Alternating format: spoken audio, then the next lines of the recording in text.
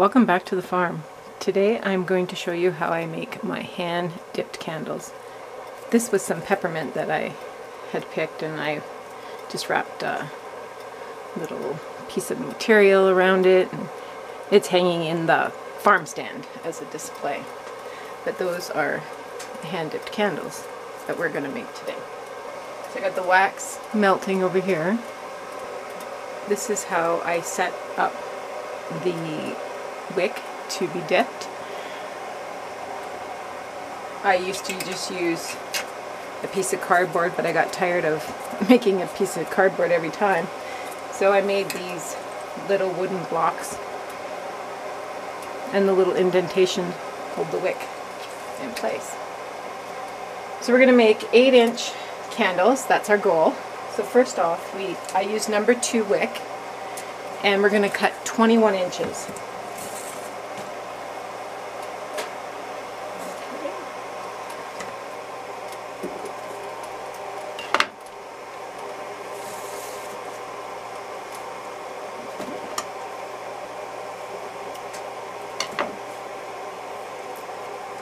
Simply going to just grab the block.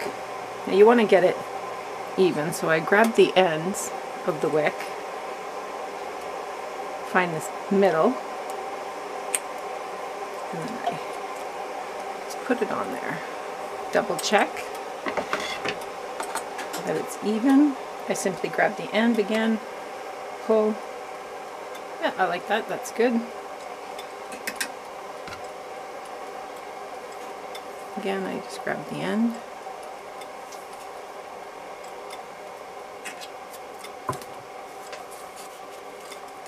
And with the cardboard, you just want to pull it through those little notches that you make.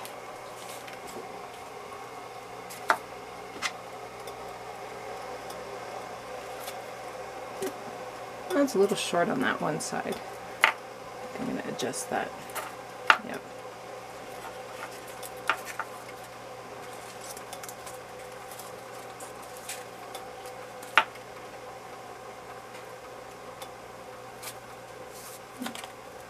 A little too much.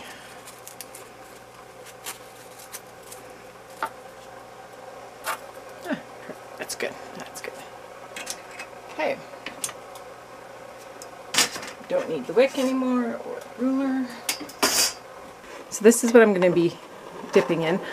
I just save olive oil containers. I have one that has some, some, wax in it that will melt and I will use this wax to refill the one I'm dipping in to keep it at a constant level. So we're a little ways away yet, waiting for the wax. But in the meantime, we got everything ready. I grab from this end and I will dip it into the wax, bring it over here, hang it up. And I work my way down and then when I get to the end I actually will keep track of how many times I dip it because I'll forget and that way it gives me a nice consistent candle I have uh, what am I going for here about three quarters of an inch in diameter roughly it sits in a candle holder really nice. So that's what we're attempting to do. So first what we need to do is prime the wick. Now I'm what that entails is dipping the wick into the wax and you might be able to see little air bubbles come up as the wax is soaking into the wick. So we're just gonna bring it down into there. Want to keep it apart.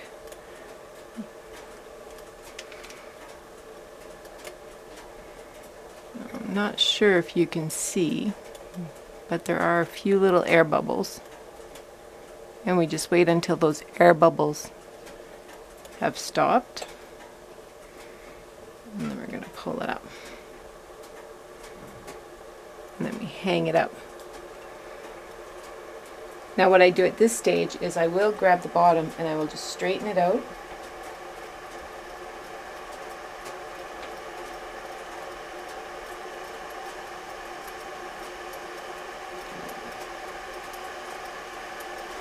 And now the wick is primed. Let's do the other one.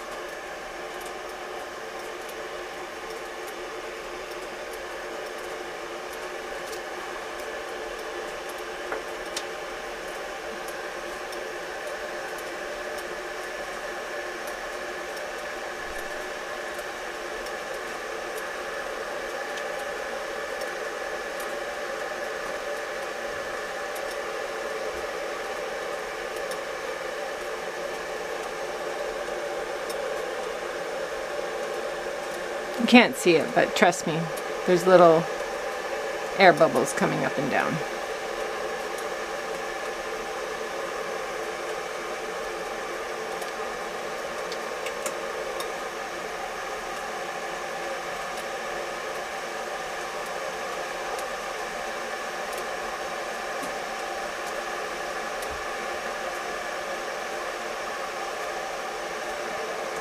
And we'll just work our way down the line. Now this is just priming the wick. Dipping it will be a lot quicker.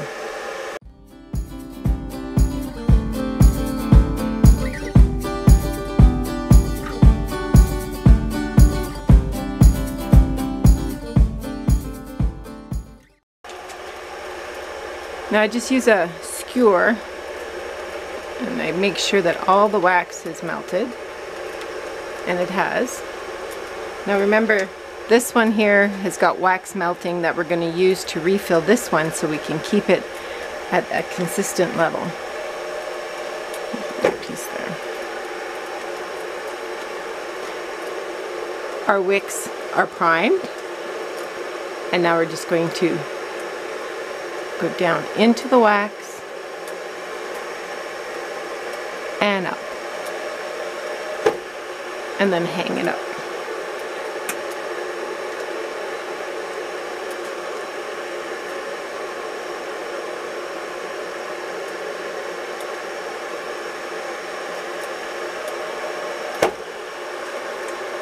We're going to work our way down the row.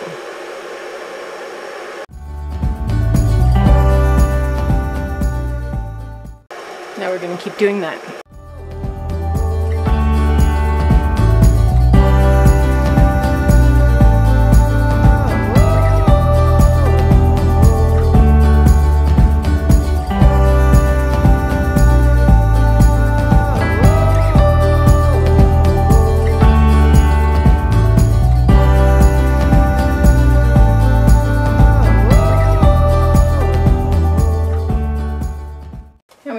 All over again.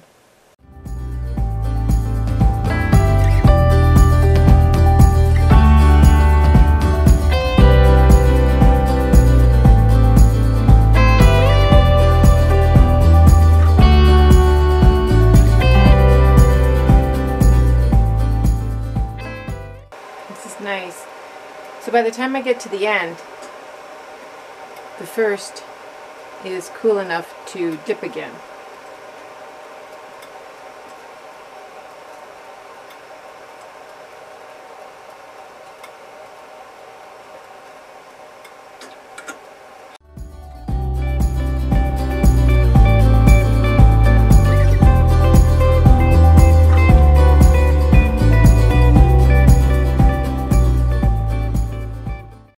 Have six um, dips on each candle, but this is a step that I do every sixth dip. I have two sheets of glass here. One side is um, one side is rough, but I don't use that side. I use the smooth side. And what I'm going to do is roll the candles real quick between two sheets of glass. It makes for an amazing rolled candle smooth and straight and I just use the weight of the sheet of glass. You just get such a beautiful product. Okay. look at that. Beautiful and straight. So now we're just going to do the rest of them while the wax is still warm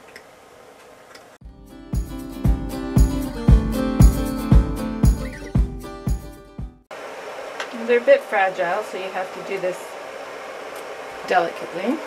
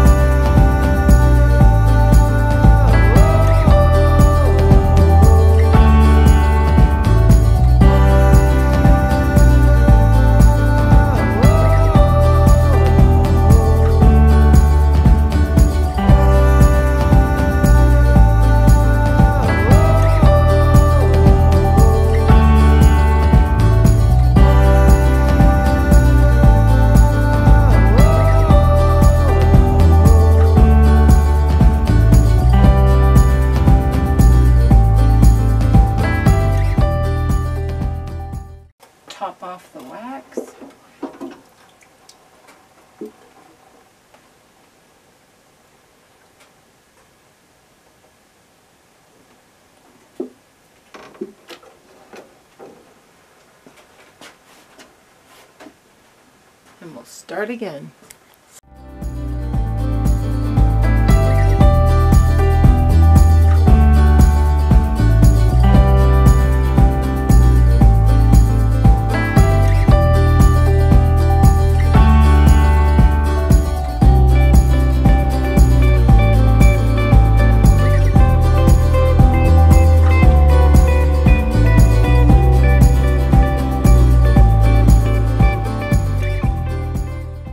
I made this stand.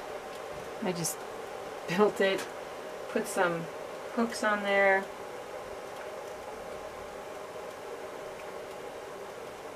Got some washers. It looks like now after I dip the whole row, I will have to add some more wax every time.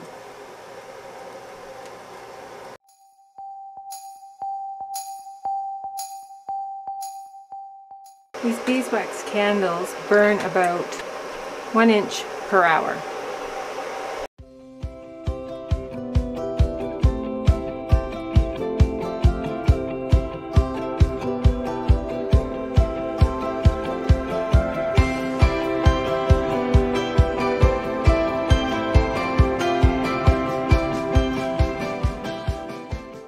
So we're just going to measure, make sure we're at the proper width, and we are, at three quarters. That looks good. So I'm going to roll the candles one more time, trim them up, and then give them a final dipping.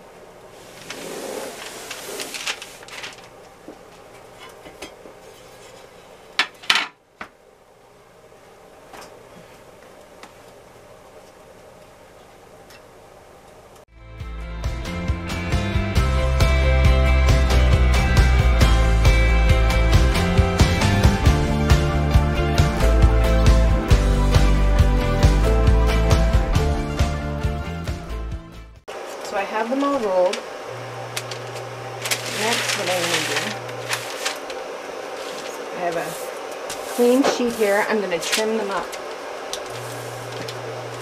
Okay. Now, let's see.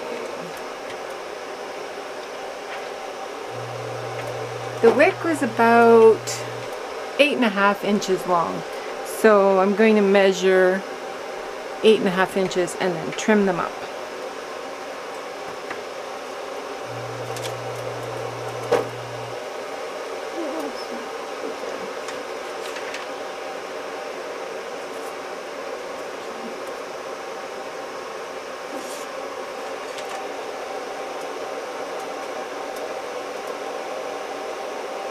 Hoping I don't cut into the wick. Yeah, just at the bottom of the wick. That's perfect. So now when I go to um, dip it one last time, it will cover that wick that is exposed. You see that? It's covered, cut right just at the bottom there.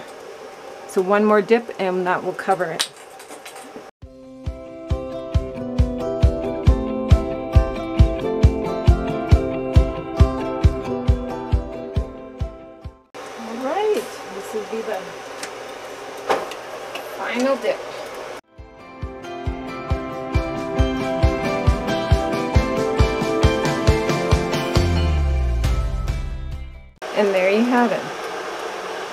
So the candles will remain hanging here to cure overnight and then we will remove them in the morning.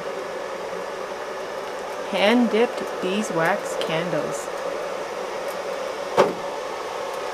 Remember, use what you have and do what you can. Aren't those beautiful?